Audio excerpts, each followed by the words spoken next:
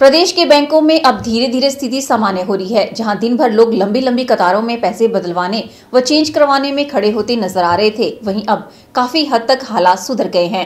पर्यटन नगरी मनाली में लोगों को अब बैंकों में लंबी लंबी कतारों में खड़ा होते हुए नहीं देखा जा रहा है। वहीं स्थानीय लोगों के साथ साथ सैलानियों को भी एटीएम से पैसे निकालने में आसानी हो रही है।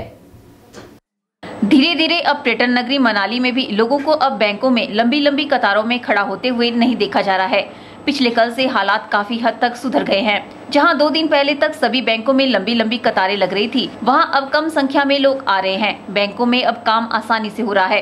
बैंक अधिकारियों का कहना है कि अब बैंकों में पर्याप्त मात्रा में रुपया आ गया है, जिससे यह किल्लत समाप्त हो जाएगी। उन्होंने कहा कि आने वाले दिनों में स्थिति और सुधर जाएगी। वहीं स्थानीय लोगों के साथ साथ सैलानियों को भी अब पैसे की लेन देन करने में आसानी हो रही है। तो करेंसी काफ़ी मात्रा में आ चुकी है। हमारे यहाँ एस ने भी हमारे साथ काफ़ी कोऑपरेट किया है। और साथ में हम चंडीगढ़ से हमारे वहाँ से भी काफ़ी करेंसी आई है।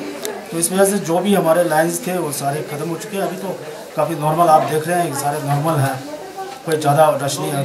पीछे के एक वीक में काफ़ी प्रॉब्लम हुई थी हमारे को। अभी तो बिल्कुल नॉर्मल है। खाते में भी हम पैसे डालते हैं पर एक दो घंटे में ख़त्म हो जाता है क्योंकि ये वहाँ से हमारे को डालने की जो वो डालते हैं उसमें सिर्फ़ दो लाख तक का है सीमित और मैं यहाँ पर एक टूरिस्ट हिसाब से आया हूँ।